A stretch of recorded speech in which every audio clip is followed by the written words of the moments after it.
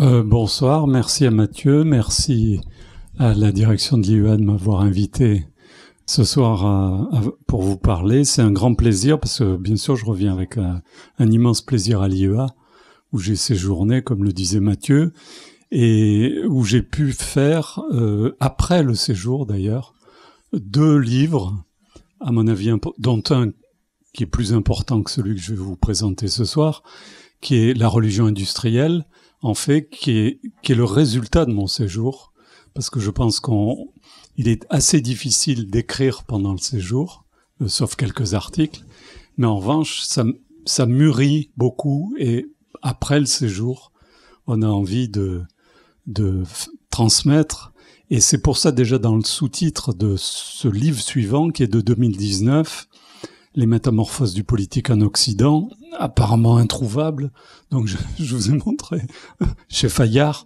Et puis toujours avec un dessin de Celsuc. Pourquoi Celsuc qui qui est aussi sur tous les murs de l'IEA, parce que Selçuk a été fellow euh, ici aussi à l'IEA, et on était ensemble euh, en 2014-2015, donc on est, on est devenus copains, et du coup, il, il faisait les, couvertures chez Fayard là, de, des deux livres. Alors, euh, je vais parler des métamorphoses du politique en Occident. Alors pourquoi l'Occident Justement, c'est grâce au séjour à l'IEA que j'ai pu me confronté dans de multiples échanges avec euh, d'autres visions du monde. Et c'est même l'apport majeur pour moi, et je pense pour les fellows, euh, ces échanges avec d'autres cultures, d'autres langues, d'autres visions du monde, d'autres architectures fiduciaires. Architecture fiduciaire, j'y reviendrai, c'est un terme de Pierre Legendre qui a inspiré beaucoup l'IEA, Pierre Legendre, et qui m'a beaucoup inspiré personnellement. Euh, donc, c'est pour ça que je vais parler de, de l'Occident au sens, euh, c'est un concept et sans doute une région du monde, disons le nord de la planète pour aller vite. Et d'autre part, euh, parce que je vais pas traiter des métamorphoses en général, il faudrait rester euh, pendant des heures et des heures.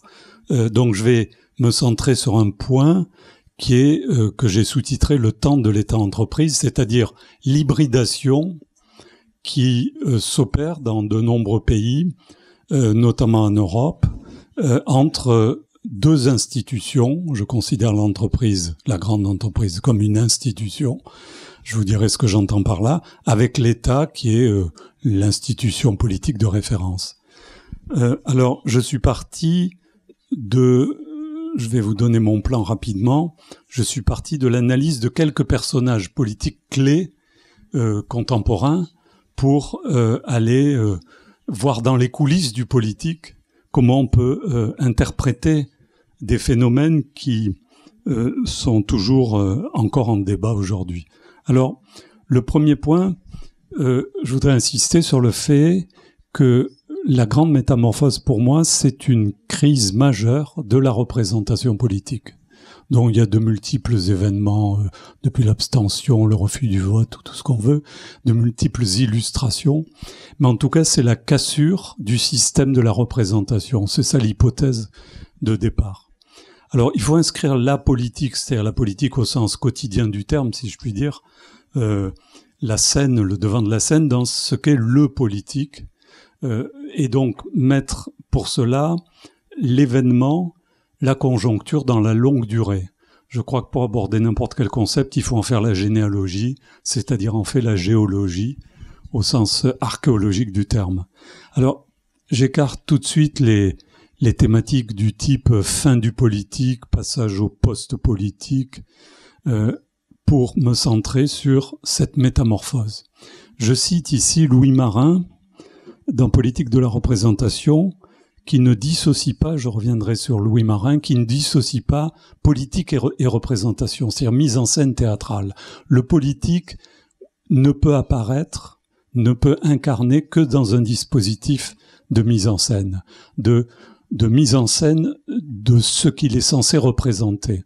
Il n'y a pas de symbolique politique sans mise en scène politique. Donc par le, la théâtralisation, voilà les, les points que je mets un peu en introduction, avec voilà le plan, comment je l'ai structuré. C'est d'ailleurs le plan du bouquin. Euh, à partir du, du théâtre, donc euh, la scène devant les quelques personnages, mais on pourrait les multiplier. J'en prendrai trois comme exemple, euh, les personnages qui occupent le devant de la scène, c'est-à-dire ceux qu'on voit euh, tous les jours pratiquement sur les écrans de télévision, les réseaux sociaux ou autres. Pour aller dans les coulisses, avec trois niveaux de coulisses, si vous voulez, les coulisses de la représentation, justement de la crise de la représentation, et en quoi la crise de la représentation politique contemporaine est, est particulièrement forte, puis euh, au-delà de cette première, de ces premières coulisses, vers l'analyse institutionnelle, c'est-à-dire du côté justement de l'État, de l'État-entreprise, et puis le lointain, le fond euh, de la scène de théâtre, c'est-à-dire les visions du monde, les architectures qui euh, légitiment, qui fondent les institutions, puisque les institutions sont là pour faire tenir, si vous voulez, les, les sociétés. Voilà le plan de la présentation, donc la scène, trois figures. Je vais prendre Berlusconi, d'autant qu'il y a un ami italien parmi les fellows, euh, parce que j'avais beaucoup travaillé sur Berlusconi, et puis c'est vrai qu'on s'est beaucoup interrogé sur ce phénomène. Je vais prendre euh, Donald Trump, et puis euh, je vais prendre Emmanuel Macron en France, c'est-à-dire des, des, personnages qu'on a qualifiés de disruptifs ou de venus d'ailleurs, donc sur lesquels on s'interroge encore beaucoup. Qu'est-ce que c'est le macronisme Qu'est-ce que c'est le trumpisme, etc.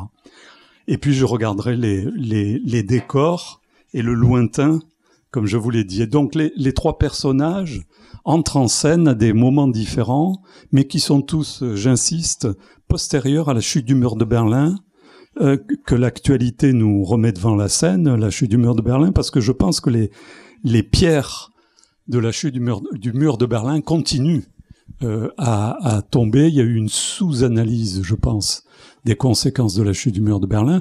Et un des premiers hommes politiques qui en a perçu la portée, ou qui a, en tout cas qui en a perçu les opportunités, c'est Berlusconi en Italie, qui était un homme d'entreprise et qui rentre du jour au lendemain, c'est en quelques semaines, quelques mois, dans, comme il dit, sur le terrain politique. Je descends sur le terrain, sur le terrain au sens du terrain de foot, comme il y en a un ici. Euh, 2016, Donald Trump, qui va beaucoup s'inspirer de la démarche de Berlusconi, explicitement, tous ses conseillers l'ont souligné, et puis 2017, de façon différente, évidemment, chaque fois, euh, Emmanuel Macron. Alors, les trois pays en question sont très différents, bien sûr. Je ne peux que caricaturer en disant que euh, l'Italie euh, est une nation sans État. Évidemment, c'est à la serpe, hein, mais c'est des points de repère. En tout cas, un État faible, disons. Euh, que c'est le pays des 100 villes, c'est-à-dire la force du local, et notamment des provinces et des cités, que c'est un pays où il y a beaucoup d'entreprises, de petites entreprises, que le régime politique est un régime parlementaire, bicaméralisme parfait, euh, donc le président du Conseil n'est pas élu au suffrage direct comme euh, en France notamment, que les élites sont liées en Italie aux partis politiques et à la magistrature, quelquefois au monde académique, mais en tout cas, jusqu'à Berlusconi, très peu ou pas du tout au monde de l'entreprise. Euh, et que, euh, évidemment, l'Italie est marquée par son dialogue permanent avec un pouvoir spirituel majeur, qui est celui du Vatican. En France, donc l'Italie, je la qualifie de laboratoire, de laboratoire sociopolitique, euh, notamment pour euh, l'Europe beaucoup de phénomènes sont nés en Italie, de phénomènes sociaux et politiques qui ensuite ont été repris différemment, bien sûr, dans d'autres pays euh, européens. La France, évidemment, ce qui la caractérise, ça doit, ça a dû frapper beaucoup de fellows qui découvraient peut-être pendant leur séjour ce pays, mais à Nantes, on le voit moins. C'est l'étatisme, bien sûr, la monarchie républicaine, comme, comme a pu dire euh, Duverger. Euh, c'est une nation qui est non seulement liée à l'État, mais qui a été faite largement par et avec l'État. C'est presque le, le, schéma inverse de, de l'Italie. Donc un pays à, à État euh, fort, euh, centralisé, unitaire, euh, des élites qui viennent beaucoup des grands corps d'État, des grandes écoles, on en parle très souvent. C'est un régime semi-présidentiel, euh, celui de la Ve République, et euh, c'est un pays aussi où l'entreprise est importante. Il y a le même nombre d'entreprises à peu près qu'en Italie, mais beaucoup plus concentrées. Euh, il y a la plupart de, il y a quelques entreprises, il y a en gros 250 entreprises très puissantes et puis euh, 99% d'entreprises moyennes. Ce qu'on retrouve sur le territoire de, des Pays de la Loire. les États-Unis, euh, ça a été qualifié de pays des, des de la corpocratie, c'est-à-dire de de, de la puissance de la corporation, c'est-à-dire des, des très grandes entreprises, qui sont nées pour l'essentiel les grandes firmes multinationales à la fin du 19e siècle aux États-Unis, avec un État fédéral, bien sûr, un régime présidentiel très décentralisé, puisque c'est un État fédéral, puissance des grandes entreprises, bien sûr, je l'ai dit, et puis une fusion des élites qui viennent très souvent, en revanche, là, du monde des affaires. Donc on pourrait dire d'une certaine façon que le, y a une sorte d'américanisme euh, qui tente à, s'exporter ou à s'importer, euh, selon qu'on regarde d'un point de vue ou de l'autre, en Europe. Alors les trois figures symboliques que je voudrais euh, regarder ont comme caractéristique d'être entrées presque, je les appelle BTM, hein, ça veut dire Berlusconi, Trump, Macron. Euh, ce personnage BTM, donc, euh, sont rentrés comme par effraction, par, par disruption, terme à la mode, euh, et surtout plus que post ou anti-politique, plus que post ou néo-politique, ils sont, et c'est une caractéristique très forte sur laquelle je vais insister, anti-politique en politique, anti-système dans le système. C'est-à-dire qu'ils sont à l'intérieur, mais pour dire on est contre. Et c'est ce qui va faire leur marque de fabrique, si je puis dire. Euh, on n'est pas des politiques. Justement, on ne vient pas de la politique, on ne vient pas du théâtrino, comme dit Berlusconi, euh, on vient d'ailleurs. On apporte une autre culture. Ils ont créé leur propre parti, par exemple pour, euh, pour Macron ou pour Berlusconi, où ils étaient en marge du parti pour Trump, euh, pour les républicains. Euh, ils jouent sur, si je puis dire, la mise en scène centrale de, du corps du chef, c'est-à-dire l'hyper-personnalisation, centralité du personnage, y compris physique. Par exemple, sur ses cheveux, sur son regard, sur sa façon de se poser, etc. Avec un récit continu de ce qu'ils font au-delà du monde politique qui s'élargit à leur vie quotidienne, comme dans une série ou un soap opéra, euh, qui est le modèle de référence, la série, euh, le téléfilm. Et surtout, ils vont importer massivement dans le champ politique une culture qui n'était pas, sauf aux États-Unis, très présente dans le champ politique, qui est la culture de l'entreprise et la culture du management, et en particulier du marketing. Et euh, des techniques de communication, en particulier euh, la télévision pour Berlusconi, mais les réseaux sociaux, bien sûr pour Trump euh, avec Twitter ou pour euh, Macron. Donc ce sont des personnages, et c'est pour ça qu'ils m'ont intéressé, qui sont à la fois omniprésents, presque obsessionnels, je veux dire, pour, dans, pour le public qui, qui, les scrute en permanence, mais qui sont sous-analysés. Et donc il y a une sous-analyse parce que les catégories, les concepts euh, à mon avis, euh, on utilise des vieux concepts, comme par exemple populisme, qui pour moi ne veut rien dire, euh, si vous voulez, on en parlera. On utilise des vieux concepts pour comprendre des phénomènes nouveaux, ce qui est très fréquent. donc, on ne fait pas automatiquement l'effort d'aller chercher ou de construire des nouvelles grilles théoriques pour interpréter ces phénomènes. Alors Berlusconi, il faut voir que il a quand même été et c'est le premier depuis l'après-guerre en Italie, trois fois élu, et trois fois battu d'ailleurs, euh, comme président du Conseil en Italie, et qu'il a eu la plus longue euh, présence au pouvoir comme président du Conseil, en gros pratiquement 20 ans, euh, à la tête de l'Italie, 5, pardon, pratiquement 10 ans à la tête de l'Italie, mais il a occupé la scène politique pendant 20 ans. Alors aujourd'hui, comme vous savez, il est très âgé, il n'y est plus. Alors, quel est le slogan clé et quelle est la clé de lecture que je vous propose du phénomène Berlusconi? Son slogan clé a été président entrepreneur. Il en a fait à un moment donné son slogan de campagne. Et il a profité, si je puis dire, d'un contexte particulier après la chute du mur de Berlin, c'est-à-dire de, de la dévastation du champ politique, de la démocratie chrétienne et du Parti communiste italien qui structurait la vie politique italienne depuis 40 ans, depuis la Seconde Guerre mondiale.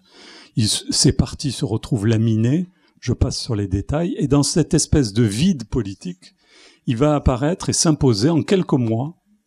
Il va créer un parti politique à partir de sa régie publicitaire, qui s'appelle Publi-Italia. Et il va transformer la régie publicitaire en parti, Forza Italia, qui est le slogan des tifosi sur les, sur les terrains de foot. Et il va gagner les élections en 94. Tout ça se passe en quelques mois. Et il transforme par exemple les directeurs commerciaux de ces entreprises en candidats et ces candidats deviennent députés. Donc vous voyez, ou ministres.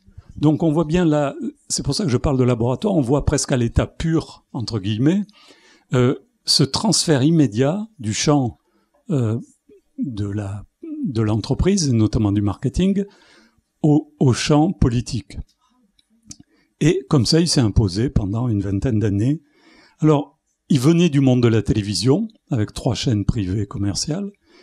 Il, a construit un empire pendant 30 ans, en gros, depuis les années 60, un empire dans le secteur immobilier et autres, et des médias, et il s'est toujours positionné contre le système politique, y compris quand il était chef d'entreprise de médias, il dit, alors que c'est le principal groupe, les Italiens n'ont pas les médias qu'ils méritent, vous voyez? Ou quand il est président du Conseil, il dit, l'État italien, ça va pas du tout, mais c'est lui le président du Conseil, vous voyez. Donc, euh, le point clé, au-delà de ce positionnement antipolitique et de, cet import-export, si je puis dire, du management dans le champ politique, c'est quelque chose qu'il a acquis dans le champ des médias et de la télévision. Il a construit son groupe de télévision, ce sont des télévisions commerciales, donc qui sont financées par la publicité, comme toutes les chaînes commerciales, en fonction de l'audience qu'elles réalisent. C'est-à-dire qu'il a fait, il a transformé la télévision dans un sens que Umberto Eco a appelé la néo-télévision par différence à la paléotélévision des grands services publics qu'on avait connus en Europe dans les années 50-70, si vous voulez, en grande chaîne commerciale qui s'adresse à des téléspectateurs consommateurs. Autrement dit, celui, le, la personne interpellée, si je puis dire par la télévision commerciale, c'est le téléspectateur consommateur. Ce qu'en France, Patrick Lelay avait appelé ceux qui donnent leur cerveau disponible pour avoir les pubs de Coca-Cola. Mais Patrick Lelay, c'était il a dit une évidence pour tous les, les, professionnels de la télévision, des médias commerciaux, ça fonctionne comme ça. C'est la disponibilité que vous accordez en contrepartie du programme au spot publicitaire qui vous finance.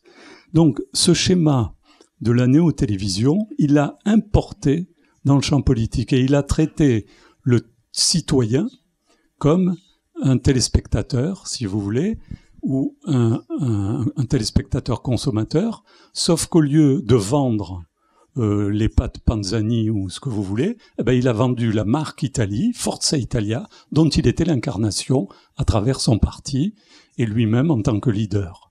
Donc vous voyez, c'est une translation d'imaginaire qui s'est opérée. Et c'est ça la clé, pour moi, de l'interprétation du phénomène Berlusconi. Et c'est comme ça que je vais observer les deux autres phénomènes. Une translation d'imaginaire en termes plus sophistiqués, je vais prendre un concept que j'emprunte à Antonio Gramsci, un transfert d'hégémonie. C'est un, passage d'une institution à une autre, parce que l'institution politique est en crise, et donc elle va chercher, si vous voulez, des béquilles, des soutiens ou des référents ailleurs que dans son champ classique euh, de, dans lequel elle évolue. Alors, Silvio Berlusconi a été largement l'inspirateur si vous voulez, on en parlera dans la discussion, je peux pas vous donner tous les détails, du phénomène Trump, à tel point qu'en Italie, vous voyez, il y, a, eu une affiche, il se fait appeler Trump, mais en fait, c'est toujours lui, c'est Berlusconi. Il a juste changé les cheveux, euh, et parce que tous les deux, d'ailleurs, ont, eu une obsession capillaire, puisque évidemment c'est une référence au pouvoir à David et Goliath ou à Samson et Dalila. Euh, donc euh, il fallait que euh, c'est un signe de pouvoir et de puissance. Donc aussi bien chez. Donc ça c'est le travail sur le corps physique du, du, chef qui est très important. Il peut paraître risible et, et de l'ordre du secondaire, mais en fait il est fondamental. Alors Trump a été élu, comme vous savez, en 2016, et comme Berlusconi, il vient du monde des affaires, de l'immobilier et de la télévision. Il animait une grande émission de télé-réalité et euh, il a euh, c'était la première fois, là aussi, que le président venait pas ni du monde politique, ni du monde, euh, ni de l'armée notamment, ou de la justice. Il venait du monde des affaires très directement, et là aussi de façon disruptive, de façon brutale, en apportant là à la fois les techniques du management et des réseaux sociaux, si je puis dire. C'est plus l'ère de la télé, si vous voulez, commerciale, comme chez Berlusconi 20 ans plus tôt. C'est l'ère des réseaux sociaux, en particulier avec Twitter. Alors, qu'est-ce qu'il a fait ben, Trump? Il, a ajouté, si je puis dire fondamentalement, à ce transfert d'imaginaire, l'extension de la marque. C'est-à-dire que Trump était présent dans des tas de secteurs d'activité commerciale avec différentes marques déclinées, je vous en ai mis quelques-unes ici, et il va valoriser la nouvelle marque dans le champ politique, comme il avait fait pour euh, euh, le parfum, pour euh, l'immobilier ou pour d'autres secteurs d'activité. C'est un secteur d'activité supplémentaire, si vous voulez. Et notamment avec un terme marketing sur lequel je vais revenir, la marque rebelle, c'est-à-dire justement d'être anti-politique dans le champ politique, comme une marque doit être anti dans un champ commercial pour se démarquer, si je puis dire, des autres marques et ne pas laisser euh, le, consommateur euh, indifférent. Alors Trump avait sorti ce célèbre tweet en, en 2018 pour expliquer son parcours et lui-même fait, fait bien référence aux deux points clés. Je suis un chef d'entreprise et je viens euh, du monde des médias. Et c'est ça qui me qualifie. Je suis même un génie très équilibré, mais c'est ça qui me qualifie euh, pour accéder au pouvoir. Alors ce sont des personnages que Georges Ballandier, l'anthropologue, avait appelés télé-réels, c'est-à-dire qu'ils sont mixtes. Ils sont à la fois présents dans, évidemment dans le champ de la réalité, mais ils sont omniprésents dans le champ euh, des médias, disons, des écrans au sens large. Donc ce, ce trait de télé-réel s'applique très bien à ces personnages. Et euh, Trump a animé pendant des années une émission très populaire où il se mettait lui-même en scène comme chef d'entreprise euh, et où il sélectionnait des candidats avec une phrase célèbre Vous êtes viré pour dire à la fin de l'émission vous êtes en cours d'émission, vous êtes, c'est moi qui décide, je suis le chef d'entreprise, donc je suis un homme d'action, et vous, vous, vous, vous êtes sélectionné ou vous, vous êtes éliminé. Alors, vous voyez la confusion même de l'État entreprise, parce que là, il est déjà président et il, continue à faire de la pub pour des produits euh, sur, euh, sur Instagram. Alors, Emmanuel Macron, lui, c'est un peu plus tard, c'est 2017, comme vous savez. Alors, c'est une figure française, là, évidemment. Donc, c'est la référence à l'État. Euh, L'État, c'est l'élite de l'élite, c'est-à-dire l'inspection générale des finances. Mais l'inspection générale des finances, c'est pas simplement l'ENA, c'est le lieu où circulent les élites entre le secteur privé et le secteur public, entre les entreprises privées et les entreprises publiques. Et il va euh, lui aussi entrer de façon disruptive dans le champ politique. Il était à peu près, il n'avait jamais été élu, même pas conseiller municipal, ce qu'on n'avait pratiquement jamais vu dans l'histoire de, la République en France. Euh, il arrive d'ailleurs, bon, d'accord, il avait été ministre de l'économie un moment, et avec un slogan alors ouvertement lié au monde de l'entreprise, qui est la Startup Nation, même s'il l'a emprunté euh, à Israël. Alors, pareil, hyper personnalisation. Alors là, elle est plus facile parce qu'il est jeune, euh, donc il n'a pas le, tout le travail à faire sur le corps du chef que des personnages plus âgés comme Trump ou Berlusconi ont dû faire, et avec un parti qu'il crée de toutes pièces, comme Berlusconi, avec le même type de profil des, de ses élus. Ils viennent du monde de l'entreprise à 65%, très précisément avec le même chiffre que chez Berlusconi. C'est, ils sont consultants, ils sont chefs d'entreprise, ou ils travaillent euh, comme RH ou ce que vous voulez. Euh, et euh, il va euh, il incarne, euh, puisque c'est la clé du politique, c'est d'incarner une vision, il incarne cette circulation déjà entre le monde privé et public, et pas simplement par son passage, comme vous savez, comme conseiller à la, à la banque Rothschild. Alors, quelques traits qui les caractérisent de façon transversale, et je vais passer aux coulisses, ensuite, après avoir fait la scène, euh, c'est ce que euh, le, on peut appeler le décisionnisme. C'est un, un, un, terme que je prends chez Carl Schmitt. Euh, le décisionnisme télé-réel. C'est-à-dire, vous voyez, ils mettent en scène, tous les trois, euh, et le premier qu'il a fait, c'était Berlusconi, les engagements qu'ils prennent et les signent avec des signatures énormes pour Trump, là, qui d'un mètre de hauteur pratiquement, pour dire quoi? Pour dire, vous voyez, nous sommes des hommes d'action. Nous sommes des, nous ne sommes plus comme les politiques d'avant, qui eux étaient dans le discours et qui n'appliquaient jamais ou pas beaucoup ce sur quoi ils s'engageaient. Nous nous engageons et comme nous sommes des, des, des personnages qui venons d'une autre culture, notamment celle de l'entreprise, c'est-à-dire celle de l'action, de l'efficacité, etc. Donc on va gouverner au nom d'eux, non plus du politique, etc., mais de l'efficacité de l'action, de l'agir. Donc c'est ce point clé qui, qui est mis en scène à travers ce type d'exemple. Alors les traits communs sont nombreux. J'ai mis quelques affiches en haut. Vous voyez, il y a un trait qui saute aux yeux. Ils sont tous les trois révolutionnaires. Euh, D'ailleurs, c'est le titre du, du, programme de Macron en 2017, Révolution. Euh, toutes les campagnes de Trump, c'est Je suis la révolution. Et Berlusconi avait dit pareil, révolution, etc. Alors, bien sûr, de, de quelle révolution s'agit-il?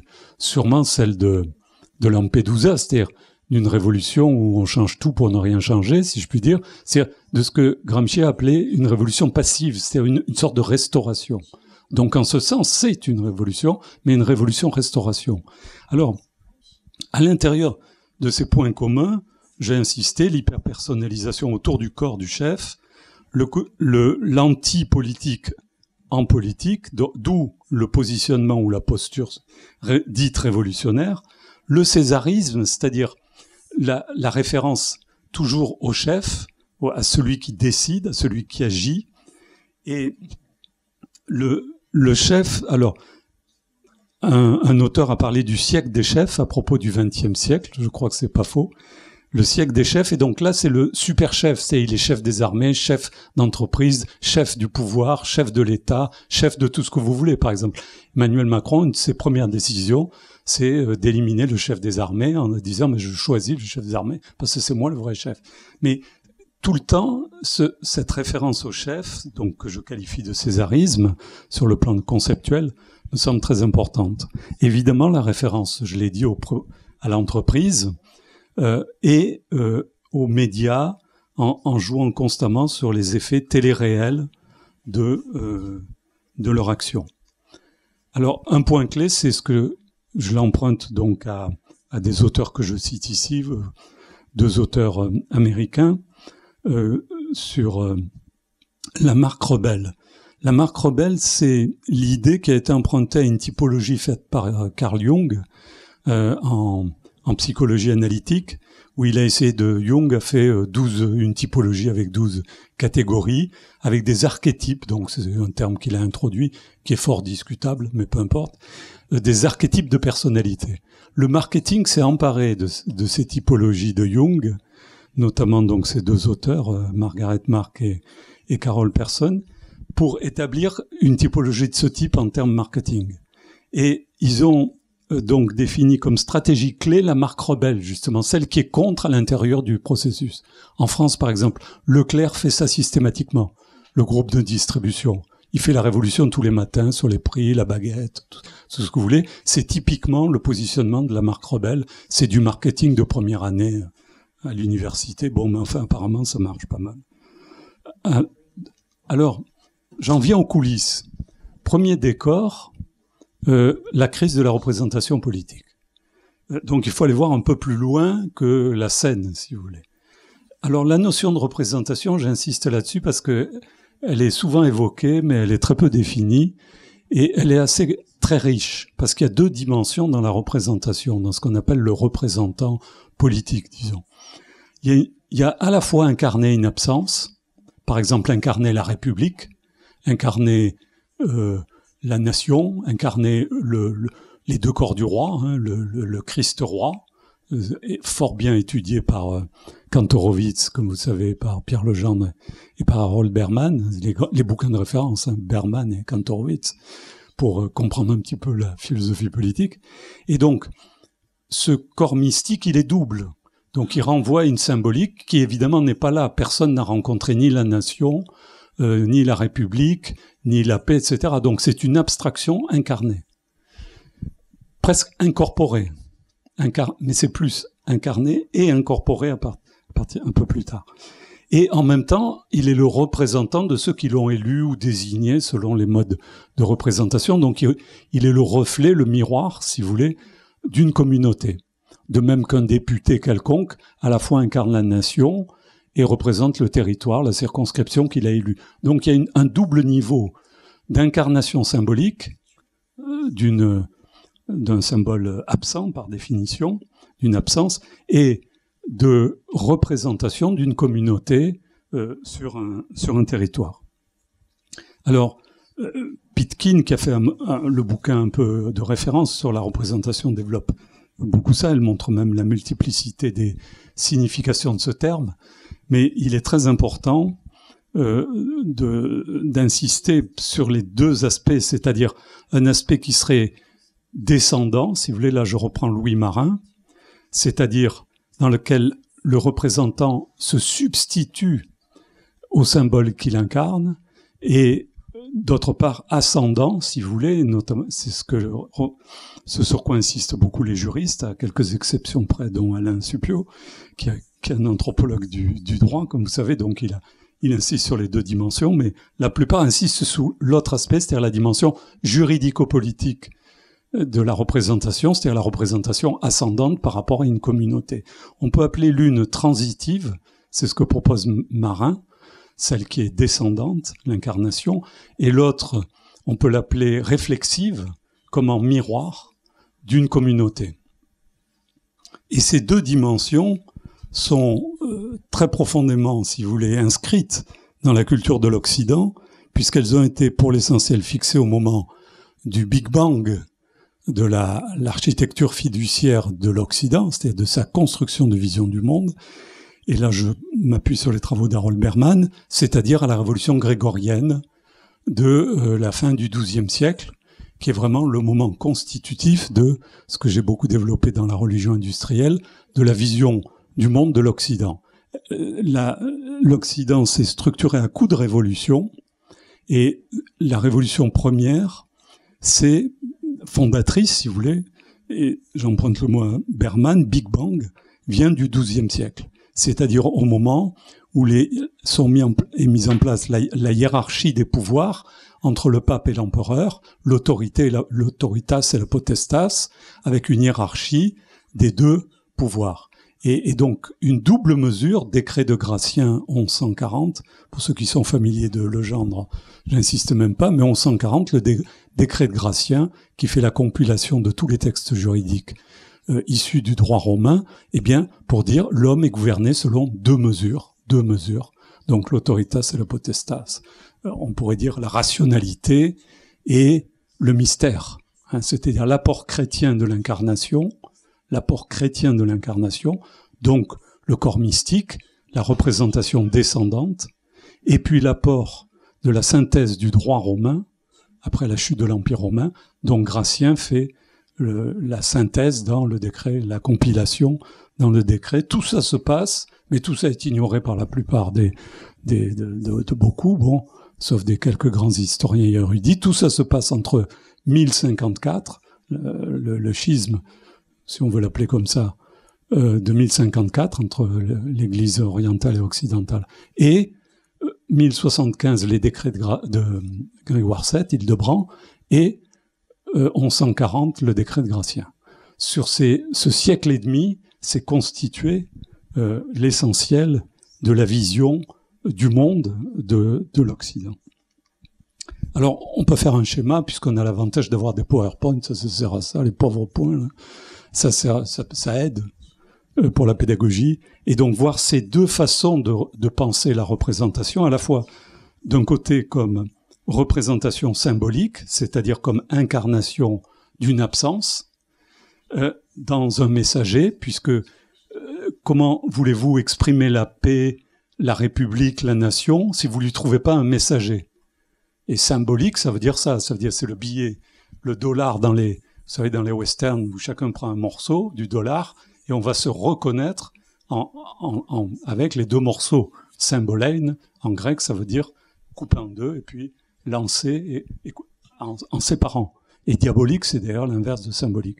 Mais symbolique, à ce moment-là, euh, le symbolique ou la symbolique doit toujours être incarné et mise en scène. Sinon, vous n'avez rien. Sinon, vous avez une abstraction pure. Euh, d'où le fait que le politique vient incarner par définition, comme le pape pour le, le, Dieu ou le Christ, vient euh, représenter sur un siège d'ailleurs euh, au Vatican. Il y a un très beau film de Pierre Legendre euh, qui désigne la place vide euh, du siège qui doit être occupé par son représentant. Et de l'autre côté, vous avez la définition donc juridico-politique et les deux se complètent. Hein. Je les oppose pas. Hein. Une institution, c'est à la fois du symbolique et du juridique. Donc c'est la représentation miroir, réflexive, qui vient représenter la communauté, euh, comme je l'indiquais précédemment. Et donc pour comprendre euh, ce qu'est le représentant, il faut bien coller ces deux morceaux. Et c'est là que joue la crise de la représentation. S'il faut coller ces deux morceaux, est-ce que ça colle encore aujourd'hui? Est-ce que ça colle encore aujourd'hui? Et c'est justement le décollement entre ces deux morceaux qui pour moi est la cause de la crise de la représentation politique. C'est beaucoup plus profond les analyses politicologiques là, de la rue Saint-Guillaume, ça. Hein euh, vous voyez ce que je veux dire? C'est qu'il faut aller au fond du phénomène. Alors, pour les, pour fellows étrangers, la rue Saint-Guillaume, c'est Sciences Po Paris. Alors, tous ceux qui sont à la télé, vous savez, sur les plateaux. Alors, donc, euh, ces, ces, deux morceaux ne collent plus. Ça veut dire que l'institution, et ce sera la deuxième coulisse, l'institution ne joue plus son rôle de collage. On est dans le bricolage. Hein, c'est les, débris collés. On colle des débris et on n'est plus dans le collage. Alors le mot collage, il vient pas de n'importe où, il m'a été soufflé par le gendre dans ses travaux, mais en fait il vient de Platon. C'est Platon euh, qui définit l'institution politique comme le collage, comme la colle justement entre ces deux dimensions. Alors vous voyez, on peut représenter de façon tout à fait classique, avec le schéma bien connu euh, de la Renaissance, le représentant comme étant pris dans un schéma ternaire entre une absence symbolique et puis le tableau hein, qui va être représenté, qui représente le, le monument absent, et donc les entre les représentés et la chose, la référence à euh, représenter. Donc le représentant, il est toujours collé entre la référence symbolique et les représentés euh, qu'il euh, qu'il est censé euh, porter ou représenter. Alors cette crise, il y a eu beaucoup déjà de crises de la représentation, mais comme je viens de vous le dire, la, la crise contemporaine est beaucoup plus profonde parce que euh, alors on cherche des tas de termes pour essayer de la caractériser. Démocratie des partis, démocratie du public. Je passe là-dessus parce que c'est le schéma ternaire lui-même qui est mis en, jeu. Euh, D'un côté, le représentant va vouloir coller au représenté de façon réflexive. Pourquoi? Parce qu'il y a une dégradation du symbolique. Pourquoi l'institution n'arrive plus à faire colle? Voilà la problématique, si vous voulez, que je vais aborder. Je, je, peux vous donner deux images ici. Magritte, je l'emprunte toujours à Pierre Legendre, qui, qui, utilise très souvent Magritte. Magritte a très bien montré le, derrière les, les nuages et, et, les, et le, la vide, l'absence. C'est le fond noir, c'est la référence symbolique. C'est le vide. Le vide qui est censé, qui est censé être représenté. Euh, donc ça, c'est la représentation symbolique, justement. Toute l'œuvre de Magritte est largement euh, inter interprétable. Il y a mille interprétations possibles à travers cette possibilité. Et l'autre, c'est la mise en abîme de la représentation réflexive en miroir sans fin euh, du, du, lien direct entre le représenté et la communauté qu'il représente. D'où la mise en scène permanente du corps du chef jusqu'à faire, à multiplier les selfies. Pourquoi ils sont toujours à faire des selfies? Euh, dès, qu'ils passent là, ils voient Macron, ah, selfie, selfie. Vous voyez, ça, c'est typiquement la représentation miroir. Je te renvoie, je te renvoie ton image. Je me mets à l'image de ton image. Vous voyez, sans fin. Alors, deuxième et troisième décor, je suis désolé, je veux faire en dix minutes, et ça devient de plus en plus, euh, sans doute difficile, d'où l'intérêt du PowerPoint. Euh, deuxième décor, je vous ai dit, derrière, on va en profondeur dans les coulisses, au-delà de cette crise de la représentation, donc la question de l'institution. L'institution politique qui fait la colle entre le symbolique et le juridique n'assume plus, n'arrive plus euh, à faire ce collage, d'où la crise de la représentation. Alors pourquoi? Qu'est-ce que c'est qu'une institution? Je passe sur la définition d'Oriou pour les juristes, mais elle est très très bonne, hein, donnée en 1925, vous pouvez la, la lire. Euh, J'insiste sur celle de Pierre Legendre qui est au-dessus. Euh, L'institution euh, renvoie à la solidité et même à la solidarité, comme l'a bien montré euh, Supio. C'est-à-dire, l'institution, c'est ce qui fait tenir, instituer, c'est ce qui fait tenir une société. Pourquoi? Parce que c'est justement ce qui colle la croyance collective, ce que j'ai appelé symbolique, les mythes, tout ce qui fait communier, pour reprendre le terme de Oriou, qui fait qu'une collectivité, par exemple une nation, communie, partage les mêmes mythes, les mêmes histoires, les mêmes références, les mêmes symboles. Et, bon, c'est de, et en même temps, le, les normes collectives qui font qu'on peut vivre en communauté, c'est-à-dire les lois. Les lois, euh, décret de Gratien que j'ai déjà évoqué. Donc c'est le collage entre la foi et la loi, pour le dire d'un seul mot.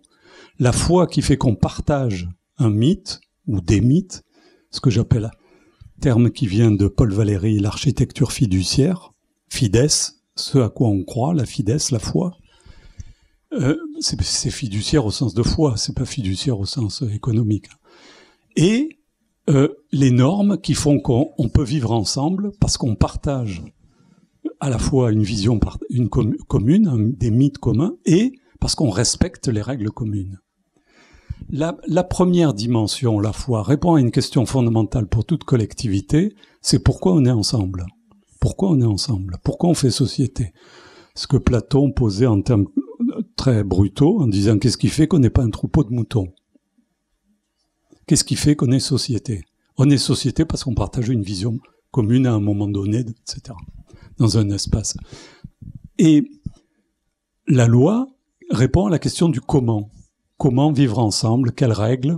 D'où vous retrouvez les deux morceaux que j'ai représentés précédemment de la représentation symbolique et juridico-politique. Je vous propose le schéma suivant qui m'a été largement inspiré, que j'ai, je l'ai mis dans ce bouquin, oui. Mais je m'en suis beaucoup servi dans le précédent aussi, dans la religion industrielle en, prenant ce terme de col qui vient donc des néoplatoniciens, enfin de Platon et des néoplatoniciens. Euh, et Pierre Legendre a fait un bouquin, euh, enfin il en a fait beaucoup, hein, mais dont un qui m'intéresse ici, qui s'appelle euh, L'amour du censeur. L'amour du censeur, c'est très intéressant comme titre parce que c'est l'amour de la référence, donc du symbolique, par exemple de la nation ou de Dieu ou de ce que vous voulez, et qui renvoie en retour la censure. Euh, donc il renvoie la loi, la norme, l'interdit. Et donc vous avez dans cette formule l'amour du censeur les deux dimensions réunies. Et l'institution, notamment l'institution politique, c'est le collage, c'est le fait, c'est la réponse à la question de la Boétie. Hein. Qu'est-ce qui fait que la servitude volontaire C'est que c'est par amour pour la nation, pour Dieu, pour euh, le mythe, qu'on accepte la norme et qu'on fait société, donc à travers une institution, et qu'on accepte la norme. Autrement dit, on répond à deux questions à travers l'institution, à la question du pourquoi vivre ensemble, pourquoi faire communauté, et comment vivre ensemble. Pourquoi et comment? C'est la grande question qu'a posée euh, un des pères de l'Église, qui s'appelle Isidore de Séville, dans ses étymologies au 7e siècle. Il dit, dans toute communauté, il faut, et tout être humain, il faut répondre à deux questions. Pourquoi vivre et mourir? Comment vivre et mourir. Donc l'institution, quelle qu'elle soit, elle cherche à répondre à ces deux, plus ou moins bien, à ces deux questions. Et c'est pour ça qu'elle fait tenir une société. Alors, l'Occident, si je suis à Berman, donc un historien dans droit et révolution, vous avez ces bouquins, j'espère qu'ils y sont encore, au club, parce que c'est vraiment des bouquins de base fondamentaux, Law and Revolution, euh, en deux volumes. C'est vraiment un monument comme euh, les deux corps du roi de Kantorowicz. Et Berman euh, explique, c'est sa thèse, mais argumentée, que l'Occident s'est fait à coups de révolutions, notamment ces six grandes révolutions-là. Euh, et à coup de révolution, ça veut dire qu'à chaque fois, les institutions ont été remaniées. Ça veut dire ça, parce que c'est pas révolution au sens que je disais là de, BTM, c'est révolution au sens de réorganisation complète du dispositif de la représentation et des institutions. Et donc, euh, vous avez les, six révolutions qu'il évoque. Euh, et j'ai ajouté d'ailleurs avec un fellow associé ici, qui est pas là aujourd'hui, qui est euh, Yehuda Shanav, dans ses travaux, mais j'étais pas le seul, ce qu'on appelle la révolution managériale, aux États-Unis au XXe siècle, qu'on pourrait considérer, enfin, c'est une hypothèse que je vous soumets comme une septième révolution. Alors, pour mesurer cette réorganisation institutionnelle, il faut bien comprendre que le Big Bang de la révolution grégorienne, donc du XIIe siècle, a entraîné le, deux produits dérivés venus de l'Église, c'est-à-dire du corps mystique incarné par l'Église et par le pape. Deux produits dérivés, formule que j'emprunte à Legendre, vous avez la référence ici, euh, qui sont l'État et l'entreprise. L'État a commencé à, a commencé à se constituer dès le XIIe, XIIIe siècle comme État-Église ou Église-État. Donc par mimétisme, par emprunt à l'Église et par différenciation et progressivement par autonomisation vis-à-vis de l'Église. Et le moment de l'autonomie de l'État-nation, c'est Machiavel, 1516, dans euh, Le Prince, au moment de la Réforme d'ailleurs, en même temps que la Réforme, 1517. Donc là, l'État devient autonome, indépendant, c'est qu'il a, il est arrivé en capacité de se dissocier euh, de l'autorité euh, papale et théologique. Il devient force autonome. L'entreprise, elle est née dès le XIIe siècle, et c'est très argumenté par euh, des tas d'historiens, Brodel entre autres, mais pas que. L'entreprise, y compris par action, hein, il y a des entreprises par action dès le XIIe siècle, et l'entreprise, va se construire à bas bruit, si je puis dire, dans la coulisse du combat que l'État mène pour sa propre autonomie jusqu'au XVIIIe siècle, aux Lumières et à la laïcité. Dans les coulisses, l'entreprise va se construire de plus en plus et conquérir son, autonomie. Et cette, autonomie va devenir une puissance au XIXe siècle, très forte, et à la fin du XIXe, sous la forme de la très grande entreprise. Et l'hypothèse que je vous soumets, c'est que depuis le XXe siècle, la, grande institution qui vient, non pas remplacer, hein, j'ai jamais dit ça, mais qui vient s'hybrider ou soutenir l'État en crise, c'est l'entreprise. D'où l'hybridation que j'appelle l'État-entreprise. Alors, l'autonomie de l'État, elle est très théorisée, vous connaissez tous les textes, par Machiavel, par Baudin et notamment par Hobbes je veux dire, du XVIe au XVIIe siècle, c'est le triomphe de l'État euh, autonome, si vous voulez, enfin de l'État en tant que puissance, à tout point de vue, euh, de l'État absolutiste même. Donc je vous renvoie, évidemment, le bouquin de référence, c'est le Léviathan. Et cette, et cette image extraordinaire, puisque je vous ai parlé d'incarnation, tout l'enjeu du Léviathan, c'est de translater, il y a des très bons commentateurs qui sont dont je cite les références, qui sont de passer de l'incarnation à l'incorporation. D'ailleurs, qu'est-ce qu'il incarne euh, Qu'est-ce qu'il incorpore? Vous voyez dans l'image du Léviathan, il y a des petites têtes, c'est-à-dire il prend toute la communauté qu'il est censé euh, représenter. La critique, je ne vais pas développer ça, mais parce qu'il est 7h moins 5, il me reste 5 à 7 minutes. Euh, à partir du XVIIIe siècle va se développer la critique de l'État. Et c'est le début de son affaiblissement. Parce que tout le monde aujourd'hui, enfin tout le monde, beaucoup, assimile la crise des États contemporains à la montée de ce qu'on a appelé l'école néolibérale Chicago, euh, Friedman et compagnie, c'est-à-dire aux années 1980, pour aller vite. C'est faible comme critique, très faible. Mais évidemment, comme c'est faible, tout le monde la partage. La critique la plus forte a été faite par Michel Foucault, c'est-à-dire Foucault montre bien que cette critique naît dès le milieu du XVIIIe siècle, avec la naissance de l'économie politique en particulier, c'est-à-dire, et l'invention du marché, le fait qu'il y a une critique de l'État absolutiste au nom des libéralismes. Des libéralismes. Le libéralisme n'est pas né en 1980 avec Friedman et Chicago. Il y, a, il y a toute une histoire des libéralismes que vous connaissez aussi bien que moi, et qui se développe depuis deux siècles et demi euh, et qui a pris différentes formes. Mais le point de départ, c'est la phobie de l'État. C'est ça le point clé. Et cette phobie de l'État, elle a commencé à se développer euh, sous la forme de la critique de l'État absolutiste, bien sûr, et de l'État monarchique. C'est la première forme.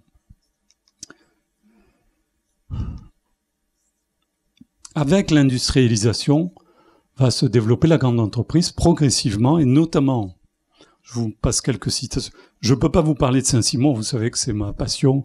Demain, je parle de Saint-Simon ailleurs. Je vous cite juste une phrase que j'ai découverte de 1804. 1804 de Saint-Simon, hein, que j'ai découverte récemment, alors que j'avais fait les œuvres complètes. Euh, débarrassez-vous des politiques. 1804. Débarrassez-vous des politiques. Vous voyez, c'est pas. Non, mais alors au nom de quoi il peut dire ça en 1804 Il dit ça au nom de l'entreprise. Vous, vous avez quelques textes là sous les yeux. C'est-à-dire, débarrassez-vous de l'État. Ça va l'amener en cour d'assises, hein, cette affaire. C'est pas, c'était pas, c'était pas rigolo. Hein. Donc la phobie de l'État, c'était l'État euh, coûte cher et ne sert plus à rien. En gros, je résume l'argument. En revanche, ce qui doit remplacer l'État et qui sert, c'est l'entreprise. C'est l'usine, ce sont les industriels. C'est eux qui produisent. Donc c'est au nom d'une philosophie de la production, bien sûr de l'exploitation du globe, par le travail et, par la communauté productive, que le politique va être remplacé, à tel point qu'il va pouvoir écrire la politique et la science de la production. La politique et la science de la production. D'où euh, débarrassez-vous du politique, comme les astrologues, comme les astronomes se sont débarrassés des astrologues, ou les chimistes des alchimistes. Donc il s'opère de façon contemporaine un transfert d'hégémonie que je vous ai présenté rapidement chez les trois personnages, sous des formes différentes, qui est un transfert de production intellectuelle et culturelle et de, de capacité à produire de la représentation. C'est ça la crise contemporaine des États et du politique. Au profit, largement, du monde industriel, du monde de l'entreprise, et je vais finir là-dessus, le lointain. Là, si j'ai fait ce bouquin là en 2019, c'est parce que je vous l'ai dit, c'était la suite pour moi assez logique de la religion industrielle. Ce que j'ai appelé la religion industrielle dans ce bouquin je vous donne juste les, six composantes de ce que j'appelle la religion industrielle. La religion industrielle, ça signifie quoi? Ça veut dire que l'Occident n'est pas dans la désécularisation, comme l'a dit Max Weber. Il a une religion, mais qui est une religion séculière. C'est-à-dire une, et une religion très puissante, qui est une religion séculière. C'est pas, pas les droits de l'homme seulement. C'est une religion séculière, c'était une religion euh, dont euh, le Dieu sans doute serait la science, ou les sciences, ou la technoscience, ou les technosciences économie. Euh, et ça a été largement construit au XIXe siècle, entre, depuis Saint-Simon jusqu'à Ernest Renan. Cournot, par exemple, le grand savant, dit dans la deuxième moitié du XIXe siècle, nous avons aujourd'hui une nouvelle religion, c'est la religion du progrès. Et, Ernest Renan écrit dans L'avenir de la science, 1848, la nouvelle religion, c'est la science. Donc, euh, cette religion industrielle, elle a été construite très élaborée au 19e siècle, au moment de l'industrialisation, autour de quelques points clés que je vous cite euh, ici, ce que j'ai appelé les six piliers de la religion industrielle. La valeur travail, qui vient de Smith, euh, c'est le travail considéré comme valeur, comme abstraction. La science comme nouvelle religion, si vous voulez, comme nouveau mythe rationnel collectif. L'humanité comme nouvel acteur de l'histoire, transformateur. L'histoire et le progrès comme moteur, bien sûr. Et tout ça, j'ai mis avec des majuscules parce que ce sont des catégories qui sont rendues abstraites au, à la fin du XVIIIe et au XIXe siècle et qui prennent valeur de mythes euh, construits à ce moment-là et articulés entre eux au nom de la révolution industrielle. Alors aujourd'hui, elle s'appelle tous les matins, elle change révolution numérique. Aujourd'hui, depuis quelques jours, c'est révolution du métavers, du métavers. Vous voyez. Pour, pour vous coller à l'actualité, vous avez une révolution de ce type tous les huit jours à peu près. Mais c'est quoi? Ça vient de la technoscience économie. Technoscience économie. Donc ces piliers de la religion industrielle sont conduits sont articulés au nom notamment du progrès comme valeur clé, qui vacille aujourd'hui, mais au nom de l'efficacité, au nom du pragmatisme, au nom de l'agir, au nom du faire. Donc ce qui est exactement la, valeur référente, si je prends ce terme de valeur, des personnages BTM euh, dont je vous ai parlé. Ce qui veut dire que si vous me suivez dans mes hypothèses présentées à la serpe, j'en conviens, mais bon, ça vous permettra de réagir aussi, c'est que non seulement l'Occident a une religion puissante, qui est cette religion industrielle, longuement élaborée, mais que cette religion puissante se fait au nom d'eux. Donc il y a encore une symbolique, mais une symbolique très affaiblie. Et c'est celle-là qui est importée dans le champ politique, empruntée au monde de l'entreprise et du management. Elle se trouve dans la septième révolution de l'Occident. Cette septième révolution de l'Occident, c'est la révolution managériale. Elle est très importante. Elle a été élaborée longuement hein, depuis la fin du 19e siècle, notamment par euh, Taylor, que vous connaissez bien, et puis par des tas d'auteurs depuis euh, un siècle et demi. Et elle prend euh, consistance, je dirais, dans les années 30-40, en particulier chez un auteur qui s'appelle James Burnham, qui publie en pleine Seconde Guerre mondiale, 1941. Alors, Burnham, c'est un ancien trotskiste, conseiller de Trotsky, conseiller personnel de Trotsky, donc il sait ce que c'est la révolution, et qui, qui passe aux États-Unis, qui devient prof à New York, et qui devient conseiller de la CIA et du président des États-Unis. Euh, et qu'est-ce qu'il nous dit au milieu, en pleine Seconde Guerre mondiale? Il nous dit il y a une révolution en cours. Cette révolution, c'est qu'on va, on va dépasser le capitalisme et le socialisme. C'est terminé. On va rentrer dans l'ère des managers. Ceux qui vont prendre le pouvoir, ce sont les chefs d'entreprise, ce qu'il appelle les directeurs, les organisateurs, etc.